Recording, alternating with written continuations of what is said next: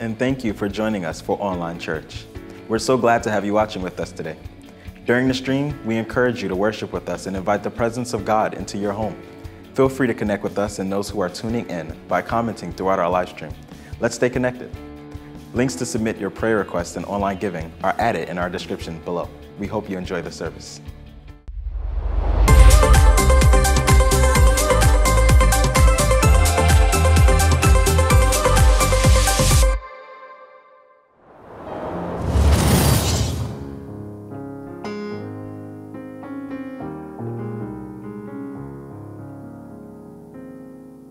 The weapon may be formed, but it won't prosper.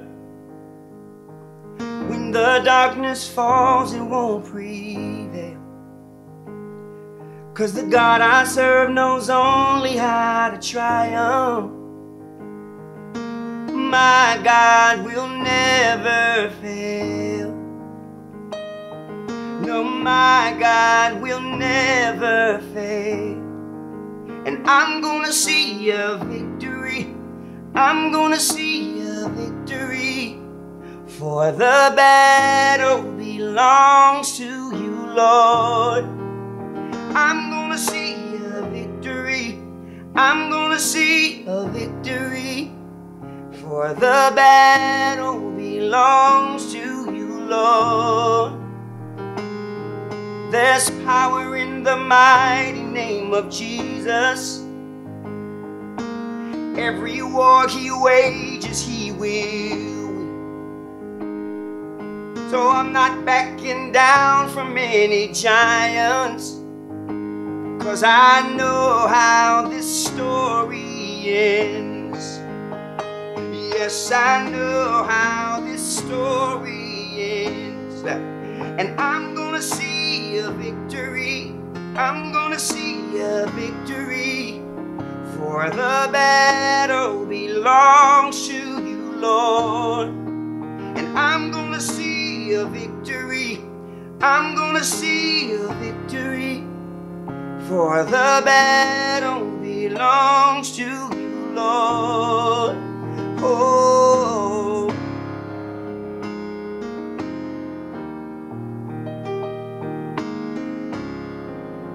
It's in your hand, God. It's all in your control. You make it good, God. You make it good. You take what the enemy meant for evil, and you'll turn it for good. You turn it for good. Oh, you'll take what the enemy meant for evil, and you'll turn it for good. You turn it for good. Yeah, you take what the enemy meant for evil, and you turn it for good. You turn it for good. You take what the enemy meant for evil, and you turn it for good. You turn it for good. And I'm gonna see a victory. I'm gonna see a victory. For the battle belongs to you, Lord. Yeah, I'm gonna see a victory. I'm gonna see a victory. For the battle belongs to you, Lord. Oh.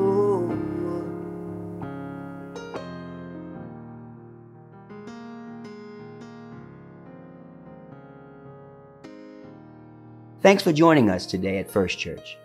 Links for prayer and giving are found in the description. First Church's doors are open for service on Sundays at 9:15 a.m. and 11 a.m. We hope to see you there. Hi, First Church and First Church community. I hope you're all doing well this week. My name is Charla Elms. I am part of the pastoral staff at First Church Charlotte.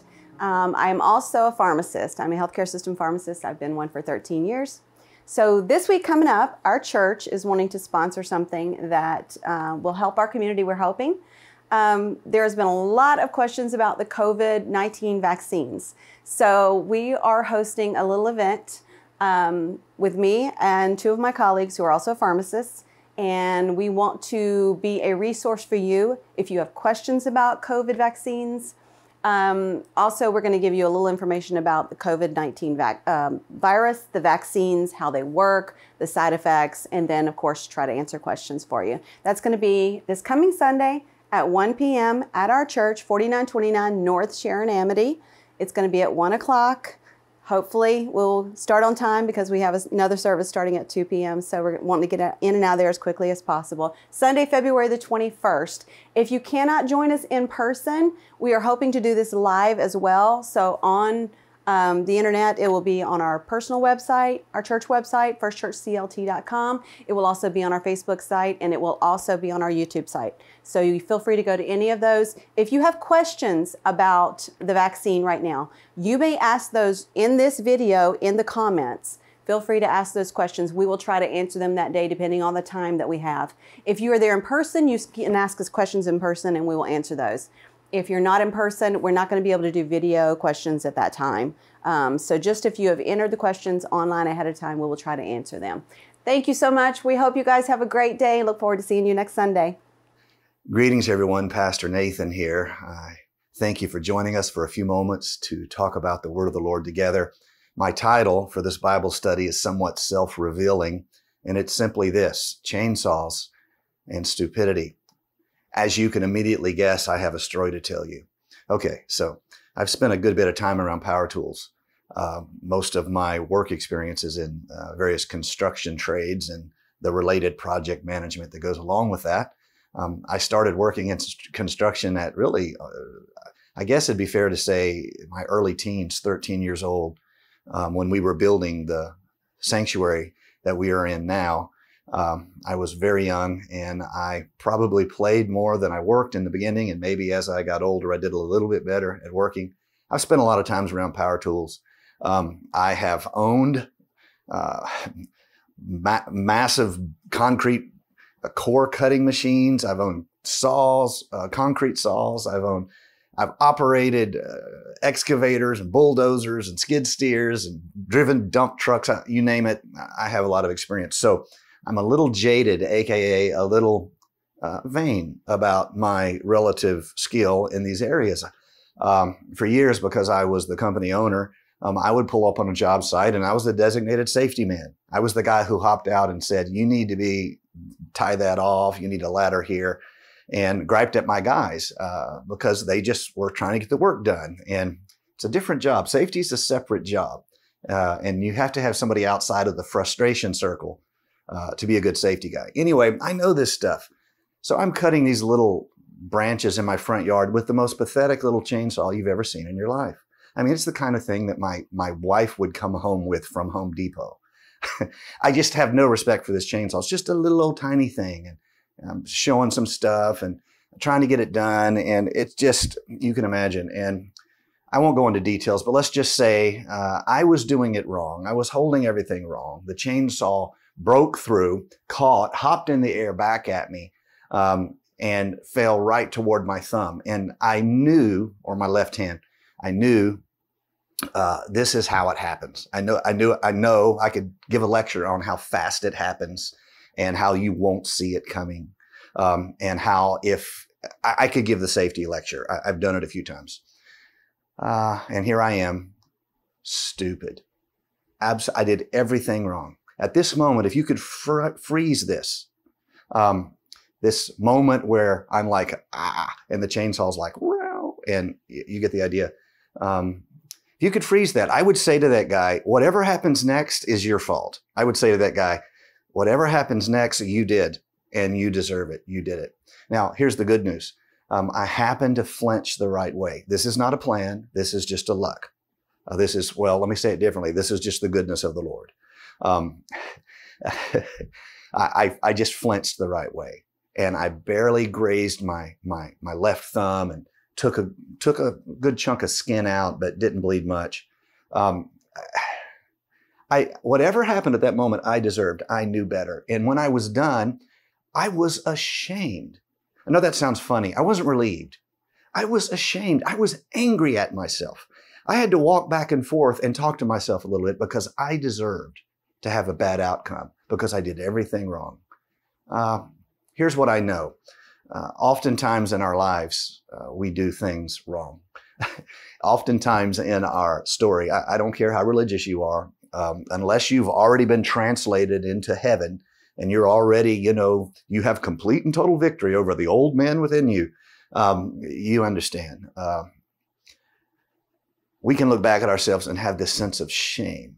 Now, as we have a fairly complicated relationship with shame nowadays. Um, we we like to think that uh, we aren't a society that uses shame.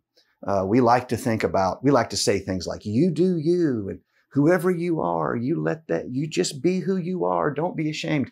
We all say that, but then the moment someone does something stupid, cancel culture comes and the shame begins. If you have ever, let's say you got elected to a, a, a civic position, a, a mayor or something, people will go through every tweet you have ever said. They will get every single thing you have ever said. And they will try to find one place where you did something, shall we say, less than wise. And if they can find that, you're done. Now, here we, the same society, we say on one hand, you do you, you be who you are. Um, until the moment you aren't who we think you should be, and then we use shame like a weapon. Psalms 25 is about shame. Uh, I won't read all of the, the psalm, but I, I want you, if you will, if you have a Bible nearby, to open your Bible and read this psalm. Um, it is about shame. Uh, it is mentioned a lot. To you, O Lord, I lift up my soul. Uh, oh my God, in you I trust. Let me not be put to shame. Let not my enemies exult over me. Indeed, none who wait for you shall be put to shame. None who wait for you shall be put uh, to shame. Uh, they shall be ashamed who are wantonly treacherous. Uh, make me to know your ways, O Lord. Teach me your paths. Lead me in your truth and teach me, for you are the God of my salvation. And for you I wait all the day long. If you go down through this, uh, this passage, you will see uh, repeatedly these statements of how God has uh, saved us, but yet He has also rebuked us. This is a uh, interesting reality. Um, the psalm is bracketed with this realization of shame in the human experience. It opens with three mentions of shame. That's what we read together. And then we, it ends in the same way back with the problem of shame. Oh, guard my soul and deliver me. Let me not be put to shame. Excuse me, for I take refuge in you. So, biblically, shame is uh, it's a fairly complicated, complicated uh, reality. Um, if you just want to talk in terms of language and its usage, uh, you would have to say that, that that shame is this painful emotion that's birthed within an individual by a negative evaluation. They're ashamed of what they've done. They, they, they shake their head at themselves. They complain about themselves. They, you should be ashamed of yourself. That's how it happens as an individual. Um, how it happens within a group is when the group becomes aware of a behavior that you wish they didn't know uh, about you. And shame is very much a part of the human experience. I, I think, particularly in our, our, our younger years, um, if you spend much time with teenagers, you, you can, you can feel the tremendous, uh, the soul aching fear of looking stupid in front of their, of their peers. So shame is part of us. It's part of how we do life. And um, the word of the Lord gives us these perspectives on shame. And I, I want you to see some of the, the, the complexity uh, that is in it. Now, in this passage, I'm going to encourage you to read Psalms 25. Uh, in this passage, um, you'll see uh, the Lord judges those who are shameful.